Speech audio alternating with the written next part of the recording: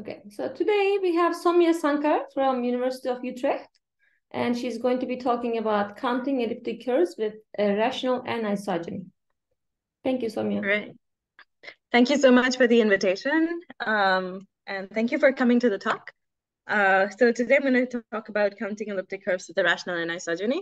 Uh, I don't remember if my title was exactly the same, but uh, it was in the neighborhood. Um, there were so, some facts involved, I think. um, all right. Uh, so uh, yeah, so today all the work I'm going to talk about is based on uh, joint work with Brandon Boggess. Um, and if you have any questions in the middle of the talk, just feel free to interrupt and ask. I'm totally happy to answer questions. Okay, so let's start with some notation. So throughout the talk, E is going to denote an elliptic curve over Q. And um, E, because it's over Q, we can always take this to be in minimal Weierstrass form, which means we can write it as y squared equals x cubed plus ax plus b, where a and b are some integers. And minimal means that we can always remove fourth powers from a and six powers from b in order to ensure that the GCD of a cubed and b squared is 12th power free, right? So we can always do this. So that's what we're going to assume. n is going to be some positive integer. And we say that E has an n isogeny if there is some isogeny between E and an, another elliptic curve E prime, whose kernel is isomorphic to Z mod NZ, right? So it's a cyclic n isogeny. And further, this isogeny is called rational if it's defined over Q, right? Um, so the equations for a phi are defined over Q. Equivalently, the kernel is a Galois stable subgroup. And so my question is, how many elliptic curves have a rational n isogeny? Now, if you've thought about this question at all, um, or seen talks about it, you know that this depends very highly on what n is, right? So if n is large enough, if n is bigger than 163, we know that there are none. Um, and in fact, we know a complete list of n for which there's even one such curve, right? So there's a complete list of n um, for which this is non-empty, right? The set. There is even one. And this list was built over several years um, uh, by Mazur, who did this for prime and um, Kenku, who also built on work of Ogg, um, Ligozat, um, René Joly, and I'm definitely forgetting people's names here, and I apologize for that. Um, but uh, so this is like, but we know a lot about this question. So what am I going to focus on for today? Well, to... excuse me, can I interrupt for a second? Sorry. So the problem is with rationality, right? So if you allow extensions, you'll always yes. have, right? Yes, that is correct. Yeah, yeah, yeah. Yeah. So here by rational, I mean over Q. That is right. Yeah. Um, right. So, and in fact, not only do, and okay, so the ones that I'm going to focus on is for n small enough, right? So what do I mean by small enough? Um, I mean, and in a, a small list, so that there's uh, infinitely many isomorphism classes of elliptic curves that have a rational n isogeny. And in fact, um, I'm actually going to take those for which there are infinitely many isomorphism classes over Q bar, for which I have, um, which have a rational n isogeny. Uh, in other words, uh, if you're familiar with modular curves, which we'll talk about later, I'm going to focus on the cases where the genus of the modular curve is zero, right? Um, so for now, I only care about cases where I have infinitely many things to count. And whenever you're counting infinitely many things, you want to order them by some ordering. Um, otherwise, you know, maybe your answer is not fine enough. Uh, and so we're going to order them by naive height, which is the maximum of a cubed and b squared, the absolute values of these. Um, and remember that E is in minimal form, right? So that's important. So that's going to, I'm going to call that the naive height. And so a more precise question is how many elliptic curves up to Q isomorphism of bounded naive height have a rational n isogeny, right? So if I bound the naive height by something, how many elliptic curves within that that box um, have a rational n-isogeny. So let's set up some notation before like stating the exact counting function in question. So if I take two real valued functions, um, I'm going to say that f is asymptotic to g if they uh, differ by a constant, essentially. So if there are two positive constants, k1 and k2, such that fx is bounded by k1 times g and k2 times g on either side, right? So they have the same order of growth in some sense. Um, and so I can create this counting function, which counts the number of elliptic curves over Q, whose naive height is bounded by X, so X is some real number here, and E has a rational n-isogeny. And I'm going to ask, um, can I find a function h and x such that n and x is asymptotic to h and x? Right, so that's my question. Um, it's the most precise version of the question. And so just as a quick example, if n is equal to one, right, so you're not really restricting anything, uh, then you're allowed to count all elliptic curves inside your height box. Um, then you're just counting y squared equals x cubed plus ax plus b. And you know that a cubed has to be less than x, and b squared has to be less than x. And so this gives you x to the one third things for a, roughly, and then x to the one half things for b, which gives you x to the five sixths. Now, if you're Excuse more me? precise about this, sorry. I'm sorry. So can I ask a question? Yeah. So when you say you want to find the function h and x, so what's wrong with the counting function? Why can't you just take that to be the function? Oh, sorry. So, um, I mean, you want to say exactly what that function is, right? So this is just a counting function. When I say h and x, typically it's going to have some powers of x and some powers of log, and I'm looking for what that form should look like. So right? you mean so, some polynomial next, maybe? Uh, it's not just a polynomial. It's it, yeah. Uh, a priori, it's not or a polynomial. Like, uh, it could have sorry. points and Uh, it could have fractional powers of x, and it could also have some powers of log x in it. Yeah, so like this would be h1x, for example. So it Does is that answer your question? for a formula. H. Right. Yes. Yeah, that that's a better way to say it, perhaps. I didn't yeah. get it. What did you say, Olga? Sorry. That they're actually looking for a formula, uh, not maybe exact one, but approximately. I mean, I, I don't know what that means, but um, so I don't know what uh, formula means, but okay. So pretty clear in this example.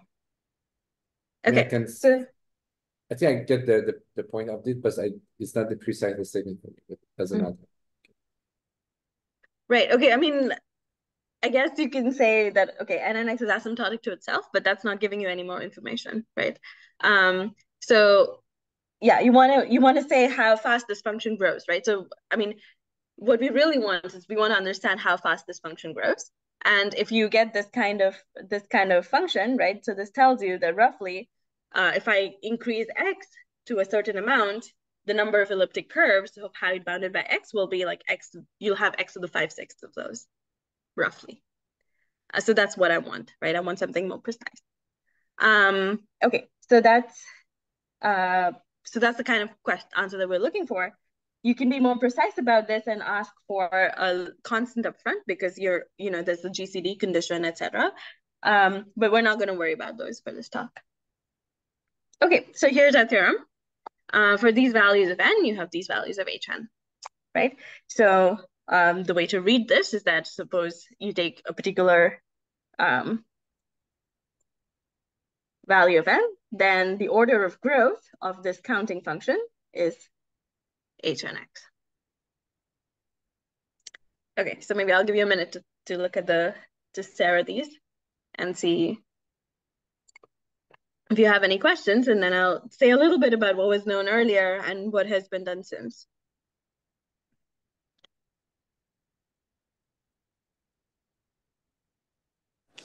Forty-seven is nothing to take.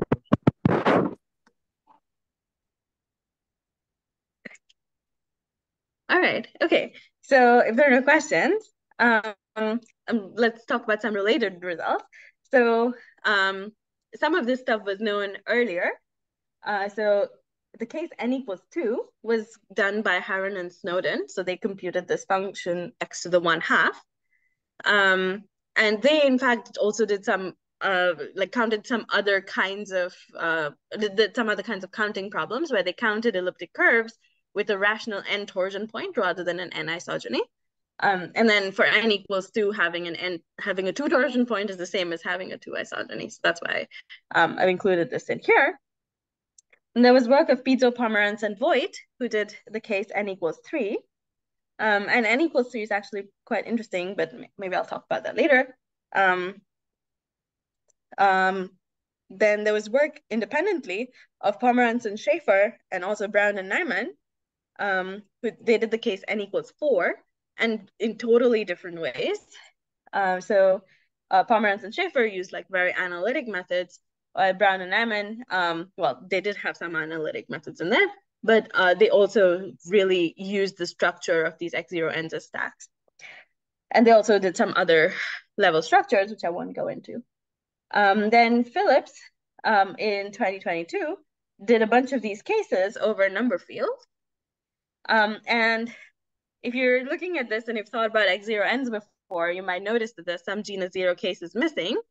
And those were completed very recently, like in this year, um, in, in this past year by Molnar and Molnar Voight, who sort of like wrapped up the final few uh, genus zero cases. Um, okay. So I've been saying a lot about modular curves, so let's actually um, rephrase that problem in terms of modular curves, right?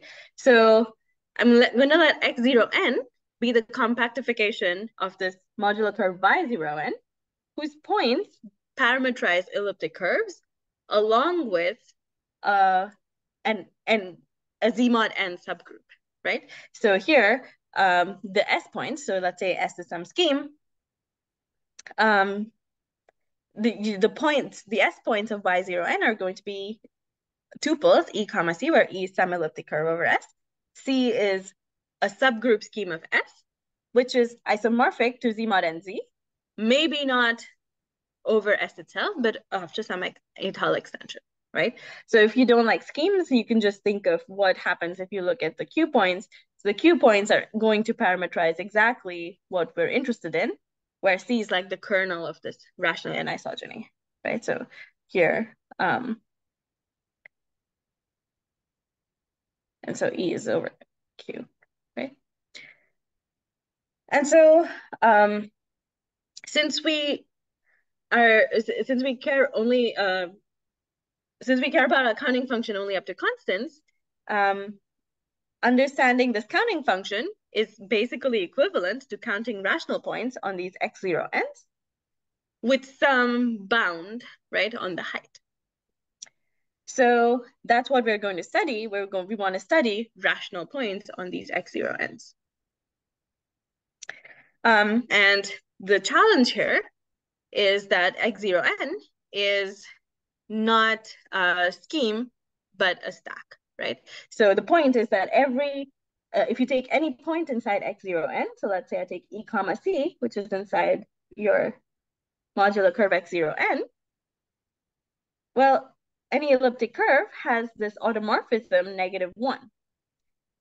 And this automorphism negative one also induces an automorphism of the subgroup C, right? Because any point and its negative generate the same subgroup, so it induces an automorphism of C. So in fact, every point has this non-trivial automorphism negative one. What that means effectively is that X0n is not a scheme. So schemes, points of schemes are not allowed to have automorphisms essentially. Um, so X0n is actually, well, I should say generically a mu 2 gerbe, right? So it's not literally a mu 2 gerbe. It's generically what is called a mu 2 gerbe, but if that word means nothing to you, don't worry about it. Okay. So um, that's what we're going to do. We're going to count points on, on these stacks. Uh, and we're going to use two strategies. The first one is a generalization of the work of Harron and Snowden, um, which involves counting elliptic curves and quadratic twist families. And the second one is going to be on counting points of bounded height on weighted projective stacks using um, some theory of height on stacks. Um, okay. So before I go into the proofs, um, if there are any questions.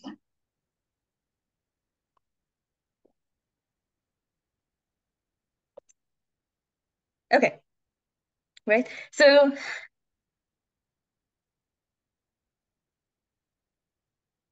Right. So I want to emphasize that it's that it's important these things are stacked, right? Because otherwise I would just be counting points on P1s, and that's not what we want to do.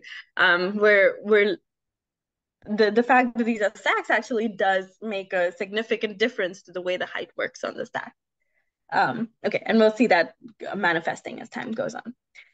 Okay, quadratic twist families. So the first thing to notice here is that, um, okay, so actually let's go back a step. Um, why quadratic twist families? So if you think about these x0n's, what really goes wrong, if you take some elliptic curve that has an n-isogeny, infinitely many of its quadratic twists also has an n-isogeny. And so when you start counting points, you have to take those quadratic twists into account. And that's what this whole method is about, counting uh, or basically taking into account quadratic twists. So let me say this more precisely. So this is a generalization of uh, work of Harron and Snowden. So um, if you remember what I said was that they counted points or uh, they counted elliptic curves along with that parametrized, um, sorry, they counted elliptic curves that had a rational um, n torsion point. And in a lot of their cases, these modular curves were schemes, right? So let's say you have some scheme that parametrizes elliptic curves with your favorite level structure. If you want uh, some uh, specific thing to keep in mind, you can keep in mind x15, which parameterizes elliptic curves along with a rational five torsion point, right? Uh, and we're going to only consider the ones that are P1s. Okay, so if they're P1s, what you can do is that you can write down a universal family over this modular curve, which means there exists f and g, which are co-prime to each other, which is important, such that every elliptic curve with your level structure that you've taken is isomorphic to something that looks like this, right? So you can create a universal family where A is of the form, um, where A is, looks like this and B looks like this. So every elliptic curve is isomorphic to something of this form. So then you can set up a counting framework, which is what um, Harron and Snowden did, is that they set up this like framework for counting pairs A comma B, such that A was of the form u to the fourth f of t, B was the form of the form u to the sixth g of t, right? Because you're allowed to change these by um, fourth and sixth powers respectively. Um, and then you have the height condition and the GCD condition, right? So they set up this sort of like analytic um, counting framework. Um, and so what we started, started to do is look at this and try to generalize this. Now, what goes wrong with stacks? Well, if you have a stack, you generally don't get universal families. So you're not going to get a family where everything is isomorphic over Q to something in that family. But because of this quadratic twist business, maybe you can do something, you, you can still like salvage it part way. So what we do instead is we find a double cover of sorts that has a family and somehow parameterizes quadratic twists of these elliptic curves as well. So let's let's do a quick example to see what I'm talking about, right? So let's do x03. So x03 parameterizes elliptic curves along with um, a, a three, um, a, the kernel of a three isogeny, so something that's isomorphic to z mod 3z over q bar. And we also have this other modular curve, x13, which parameterizes elliptic curves along with a three torsion point, right? So here P is a three torsion point.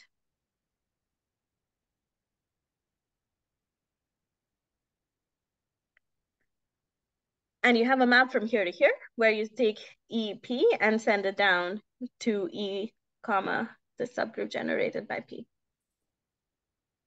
Yeah, and I haven't said anything about these points being rational or anything, so they're um, they're just they are what they are, right? So there's points right now.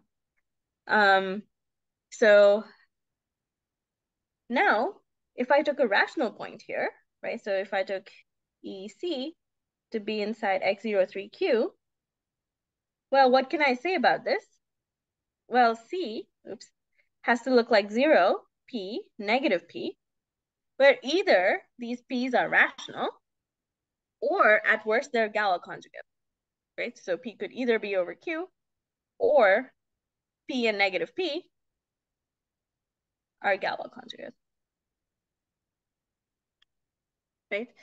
In particular, what this says is that P has to be of the form um, X comma um, Y square root D for some D. And so um, what you can do is if you started with E that looks like y squared equals x cubed plus ax plus b, you can consider the quadratic twist, ed dy squared equals x cubed plus ax plus b. And these are not isomorphic over q, but they are isomorphic uh, over q adjoint square root d. And under this map, p goes to some point that is indeed rational inside Q. So what have I done here? I've taken something that's inside x03, and after a quadratic twist, I've produced some point, so here, ED, image of P, inside x13, Q, right? So if you if I have x x zero three, right? So any any rational point on x zero three, there's some twist of it that corresponds to a rational point on x one three. And why is that nice for us? Well, x one three is not uh well okay, it has only one stacky point, but it's generically a scheme. And so then you can sort of push it into this like Harron and Snowden framework and sort of get a universal family over it. And so that's what we do, right? So instead, we sort of like count quadratic twists of points here that that's the idea. So um, in general, you can play the same kind of game. So for this list of n, which was not all of the n's from our from the theorem that I talked about, um, we can consider the this cover x1n to x0n, and this is a z mod nz cross cover, right? And so you can play the same game, you can take something that has index um, that has index two and create this like intermediate cover, which we call x1 half n, which is by no means a standard uh, notation. It's just, we just thought it was fun. Um, so there's this x1 half n that we can create, which satisfies this kind of property that if you take a point here, right, if you take a rational point here, you can do a quadratic twist. So q point here, you can take a quadratic twist to get a Q point here.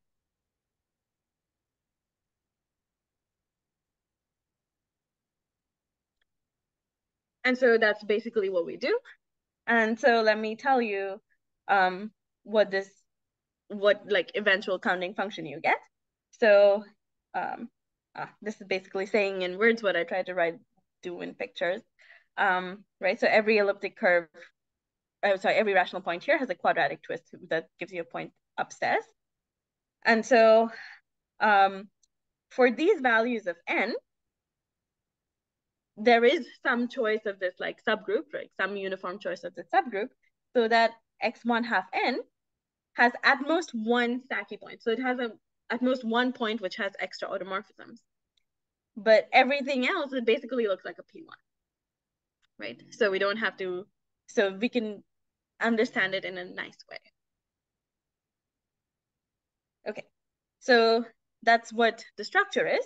And so the modified counting problem is the following. So for this, this list of n's, you can find these functions f and g as before. So these are polynomials in Q of t, which are co-prime to each other. So that every elliptic curve um, that gives a rational point on x 1 half n is isomorphic to something that looks like this, right? And so remember rational points on x1 one n sort of came from quadratic twists of rational points on x0 n.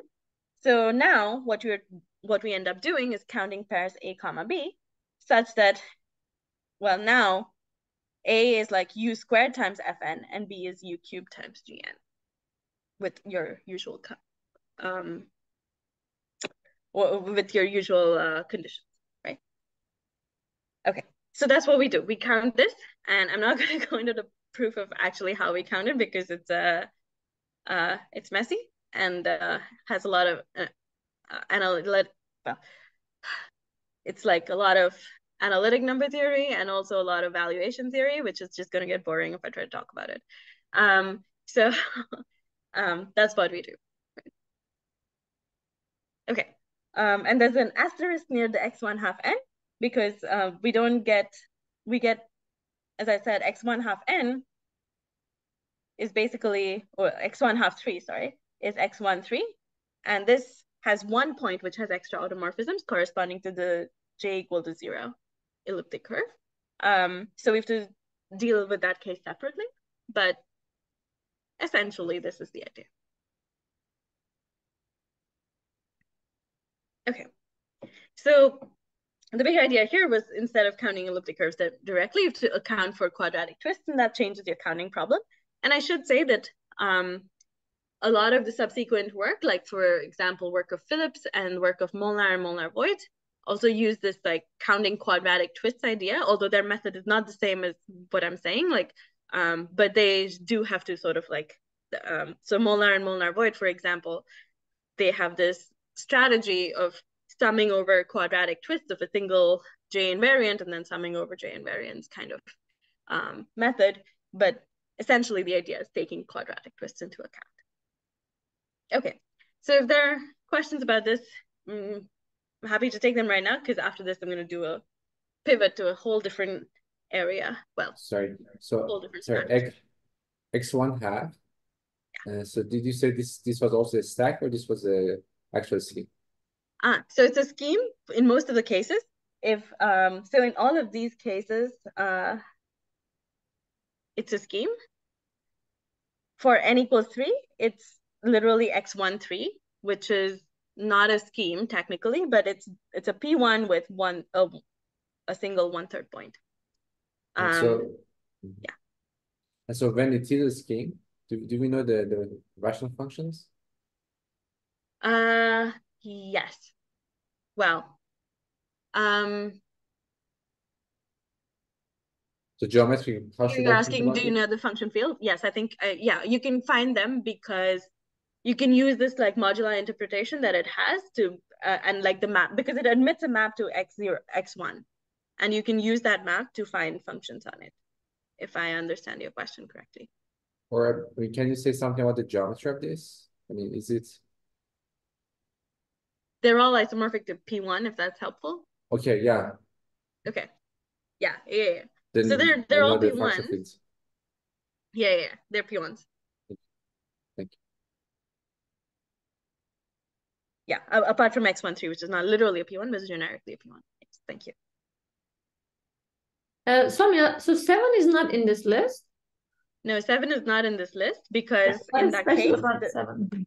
yeah, so in this case, Fn and Gn are not co-prime to each other because x1 half n, uh, so x1 half 7 looks like, well, it's mostly a P1, except it has two points that have automorphism groups of size 2. Um, I'm going to write them as two points. Um, so there's like two mu 2s. So this corresponds to the j equals I think j equals zero still. Um, but don't quote me on that. I, th I think it's still j equals zero. Um, and these two are Galois conjugated to each other. So you like basically can't move any of them to infinity because they're um, they're not defined over Q. And so because of that, F and G, you cannot you cannot remove this co-primeness condition, which means when you do this analytic framework thing, um, we have to do there's a there's some point where you have to deal with infinitely many local conditions and that messes things up. Okay. It's just a very like uh, technical issue which which messes it up, but uh, that's basically what goes wrong.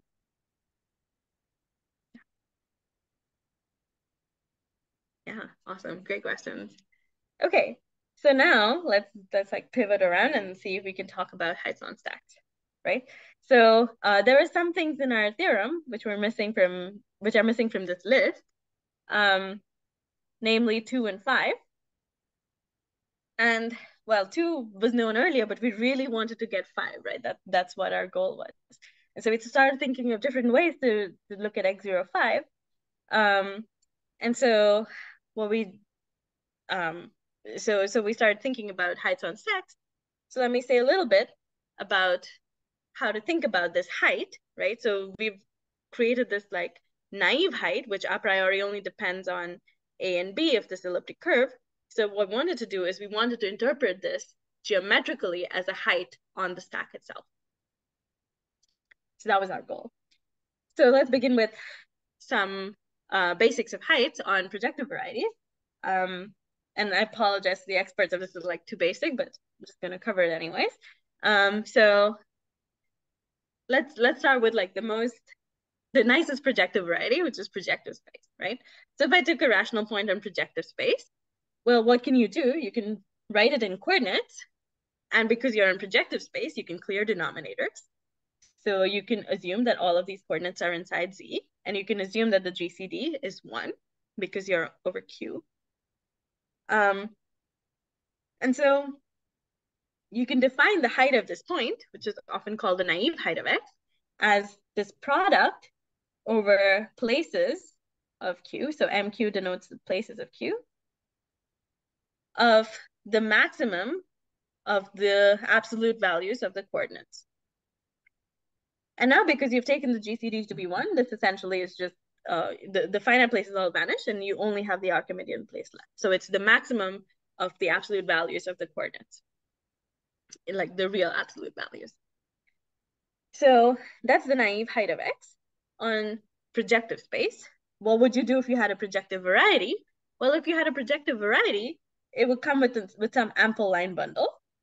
And so that is very ample for some power, L to the N. And so you could use that to embed your X into some projective space. Let's call that PK. I'm going to call this map um, phi sub Ln to indicate that it comes from this line bundle and this power of this line bundle. And so now I can define the height in terms of this map, right? So you can take define the height with respect to L as, well, you take the image of this point and under this map and compute the naive height over, over there, right, as we've defined up, uh, up here. And then because you've used like an nth power and you want this to be like height with respect to L, you raise it to the power of 1 over n. Okay, so that's how you can define the height of a point on a projective variety. And so we want to do something similar for the modular curves x0n, except, well, these are not varieties, right? These are stacks. That's one of the big things that we've been talking about. Um, and the height should somehow see the fact that these are not varieties and these are and that these are stacks. You would lose information if you just tried to map it into um, projective space. Okay, so what do we do? Um, so instead, we're going to use something called weighted projective stacks. So weighted projective stacks are a generalization of projective spaces. Um, so if you take some tuple of integers, a0 through ak, you can consider a twisted GM action on ak plus 1, where you act uh, on this tuple x0 through xk by lambda to the a0 x0, lambda to the a1 x1, up to lambda to the ak AKXK. So it's a twisted action. And now you can define your weighted projective stack as the stacky quotient, whatever that means, of, well, you remove the origin of this AK plus one and then quotient out by this GM action. And so I'm not going to say too much about the stacky quotient, but the thing you should think of when you think of this stacky quotient is that a normal quotient would just remember the orbits of an action. But you also want to remember the stabilizers and whether your action has extra stabilizers at some point. So a stacky quotient remembers both orbits as well as stabilizers.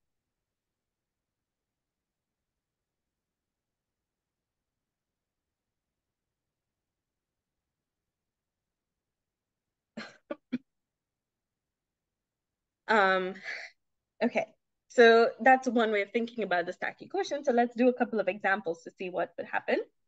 So the first example is if you took P two three right? So this is a one-dimensional object, and it's actually birational to P1. So if you took all of the orbits, it would basically just look like a P1.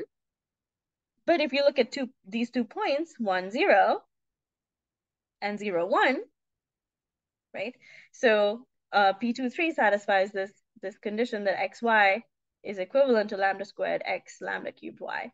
So if I looked at the points 1, 0, the negative 1 would act trivially on 1, 0, and zeta 3, which is the third root of unity, would act trivially on 0, 1. Right? So there'll be some points that have stabilizers.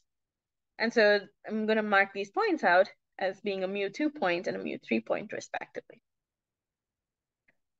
Right, so what you should think of when you think of a P23 is a P1 with these two like stacky points with these automorphism groups mu2 and mu3 respectively. Okay, what about P2, uh, but what about P46, right? So P46, here, um, xy is equivalent to lambda squared, oh, sorry, lambda to the fourth x, lambda to the sixth y, which means if I take lambda to be negative one, right? So negative one acts on xy trivially, no matter what x and y are. And then you have these extra points, 0, 1 and 1, 0, which have uh, extra automorphisms, uh, yeah, of automorphisms of size 4 and 6 respectively.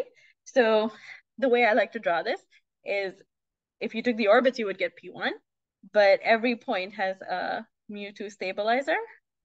And then there are two points which have larger stabilizers, mu6 and a mu4 at zero and infinity, the way I've drawn this.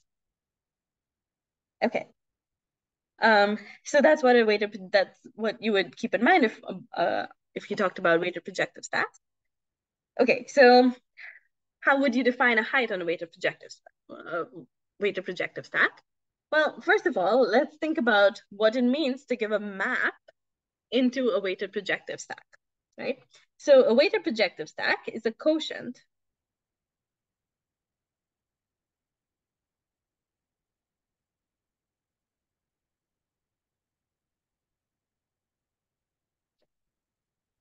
And if you have a quotient, or well, if you have a map like this, and I want to understand what does it mean to give a map here, well, one thing you can do when you have two arrows that go to the same thing is you can take the pullback, right?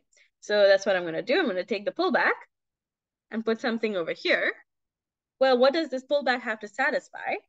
Well, because this is a is a quotient by GM, this has to be a GM torsor. In other words, it has to be a line bundle. Right? So uh, well, it's the total space of a line bundle. And because you want everything to commute, this map has to be G equi GM equivariant. And this is actually like secretly, this is just like this, but we won't get into that. But what this tells us is that giving a map into um, PA0 through AK, right? So an S point inside here is the choice of some line bundle on S, this is on S, along with a bunch of sections. But now because you have this like, um, this like twisted action, these sections are like inside the, um, these are sections of powers of this line bundle. Okay. This is a very fancy way of saying this is like a weighted version of projective space. Um, and so if you sort of work through this and think about what you might guess that your height should be, you would say, okay, because this is a weighted version, I'm just going to take my usual height and then weight the coordinates accordingly, right? So these yi's are like powers or like or they they sit inside these uh powers of this line bundle. So maybe I'm gonna weight it out by one over AI.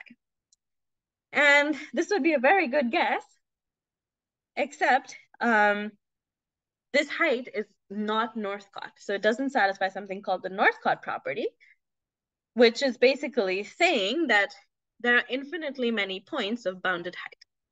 If there are infinitely many points of bounded height, your counting function is not useful because then you, you know, there's, you just can't count that number.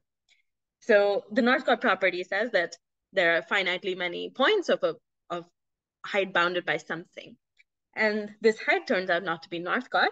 And this is a very um, nice exercise um, if you're interested, right? So if you take P to be a prime and you consider these points P comma zero inside P two three, all such points would have height one. So you have infinitely many points of height one. And these are not equivalent to each other over Q, right? So this is like the first problem. And so um, there are various fixes that have been proposed by several people. Um, in other words, many people have pr proposed good notions of height or what a good notion of height on a stack should be. Um, and I'm going to say a little bit about all of them. Well, okay, at, at least some of them. Um, and then we'll go back to modular curves after that. So, um, okay, so let's do the first one. Um, well, there was this notion uh, due to Darda and Yasuda, which I think came out last year, where they said, okay, let's go back to this example of P0. What is the, if you sort of look at what is the orbit level, right? If you forgot, if you just looked at like the complex points, this thing should be equivalent to one zero, right? If it's over the algebraic closure. And so your height, this height one, is only really seeing this this point that's like over the algebraic closure. And so this height is something called the stable height, which basically means it only sees your um, coarse space, if that means anything to you. So there is this stable part, which sort of only sees the orbit. And they said that, okay, this is not enough because you won't get Northcott things. You need to modify this by some stuff. And um, the way I've written it, stuff seems very vague, but the, the stuff has to satisfy a few conditions. But you can be, but it's still pretty flexible. You can, they basically say you just, yeah. So so there's there's like some like they have they call this a raising function that sort of sees the structure of the stack. Okay, so that was Darda Yasuda's fix. Um, Darda uh, in his thesis, came up with something called the notion of a toric height, which uses the fact that these are toric stacks, but we won't go into that. Um, but that was another um, proposed idea, which also satisfies the Northcott property. Um, Deng in the late 90s, so I think this paper came out in 1998, where he proposed this notion of size, which also turned out to not be multiplicative. And, uh, you know, even though he doesn't use the language of stacks, um, it's a pretty nice function and actually just does see the stacky structure to some extent. And this was used by Bruin Najman and also Phillips in counting. So this is something called the size function. And the last one is the thing that I'm going to focus on the most. Um, so this uh, was work by Ellenberg, Satriano, and Zureick-Brown, where they proposed the definition of a height with respect to a line bundle. So this is generalizing the notion of a Weil height on projective varieties. So they they produce this um, this height and how to think about this. But roughly speaking, so I'm, I'm not going to give you the full blown definition, but in the case of that we're thinking about, let's see what they philosophically what they were trying to say is the following. Okay, so you have this point P0, what is the difference between P0 and 1, 0? Well, one of the issues is that P0 is not an integral point of P23. It's a rational point, but it's not an integral point because when you reduce it mod P, you get 0, 0. That's bad, right? Um, okay, but if you base change this to Q join square root P, you would get something that is now equivalent to 1, 0. And so their proposition was that whatever your height is, well, it should see this 0.10, but it should also see the ramification in this extension q square root p. So um, their height sort of decomposes into this like stable part and something which I'm going to call the unstable part, which sees the ramification ramification in certain extensions. Right? So theirs is also sort of fits into this framework of modifying it by this stuff, but they said that this stuff is like really measuring something arithmetic about the stack. Okay, so when you so when you go through all of that jargon and all of that nonsense, what happened? Um, so here is the proposition that they prove, right? So let's say X is a is, is the stack over spec OK, where K is a number field. Um, L is some line bundle um, on on X. And now you want to take a power of that line bundle and say it's generically globally generated by a bunch of sections. Um, this is like the analog of mapping to a projective variety. So here instead, you're like mapping to a weighted projective stack, right? So not every stack admits such a line bundle, but you can sort of, if you don't want to think about the technicalities of this, you can just think about this as having a map into a stack. Um,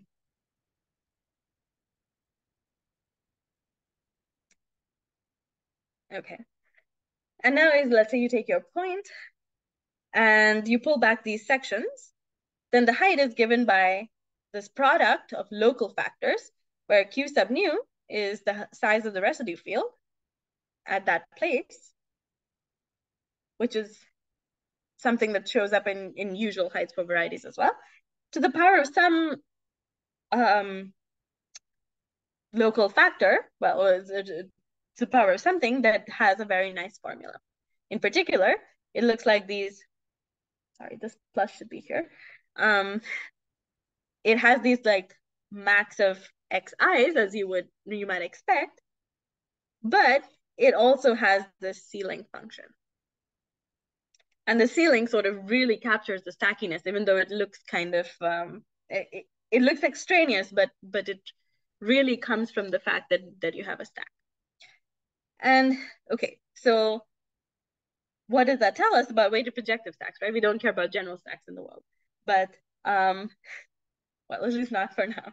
Um, so now you have this point. What this tells us, this proposition, if you simplify what it what it tells you in this case, then the height with respect to what is called O of one on this weighted projective stack is the max of these yi to the 1 over ai's, perhaps up to a bounded constant. And this is the crucial part that here, notice that there's no product. It's only the Archimedean place. So it does actually look a lot like what happens in the case of um, usual projective spaces. Okay,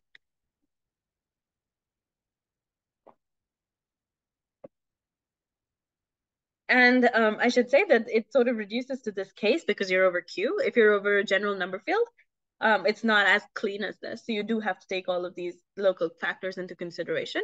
And then the, um, yeah, then things become more hairy, but we won't worry about that for now. Okay, so we did all of that. So that was an aside on projective stack, weighted projective stacks and heights on them. Um, what does this tell us about modular curves? So let's go back to what we started with, which is the naive height of the elliptic curve. Well, the naive height was defined as the max of a cubed and b squared. And just to recall, um, modular curves come with very nice line bundles on them. They come with the with something called the Hodge bundle, whose sections are basically modular forms. So um, if, if you, the, I think different people like to think of the Hodge bundle differently, but you can think of this as the bundle whose sections are modular form. Its sections are modular forms of weight k. Okay, so how does this help us? Well, if you recall, A up to a constant is the Eisenstein series of weight 4 and B up to a constant is the Eisenstein series of weight six. And E4 cubed and E6 squared globally generate lambda to the 12th in the sense that they don't simultaneously vanish. And so what that tells us is that there is this map from x01 to p46 that sends this elliptic curve to AB. And this also tells you exactly why you can remove fourth powers from A and sixth powers from B is because you get a map to P46. And in fact, this map is an isomorphism over Z adjoin 1 over 6. Right? But the, but the point is that there is this map and the naive height from the formulas that we did before is the 12th power of the height of a point on P46. And so even on x0n, because x0n admits a map to x01, right?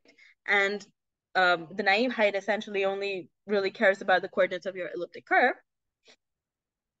Even on x0n, the whole upshot of everything we've done so far is that the naive height is up to a constant, the 12th power of the height with respect to the Hodge bundle.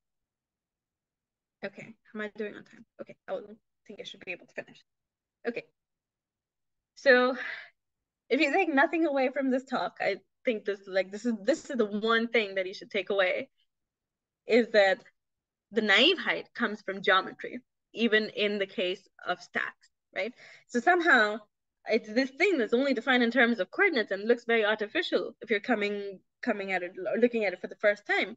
But it's it really does come from geometry. It captures something about the geometry of the moduli space. So that's what we're going to use. Okay, so how do we use this? Well, now that you know that it comes from a line bundle, again, if you don't care about constants, um, now A and B are not special anymore. I can change, so they're just sections of some line bundle, right? So I can change A and B to other modular forms that I like or that make my life easier. So instead of you, so what I really need to use is this this particular height, really. And so if I only care about this height, I only need sections of powers of lambda. And now I can use my favorite sections. I don't have to stick to A and B anymore. So, well, the reason that helps us a lot is that modular curves are very widely studied. People know a lot about what modular forms on X0n look like, right? So here is a description of some of the rings of modular forms that are known. Um, this is by no means an exhaustive list, but this is like the list that we used. So um, I'm, I'm only referring to this, these ones, right? So if, the, if you look at the ring of modular forms on X0n, you get these particular generators and relations. So the way to read this is as follows. So if you take a particular n, uh, the, the ring of modular forms is gener has three generators, A, B, and C, where A has degree two.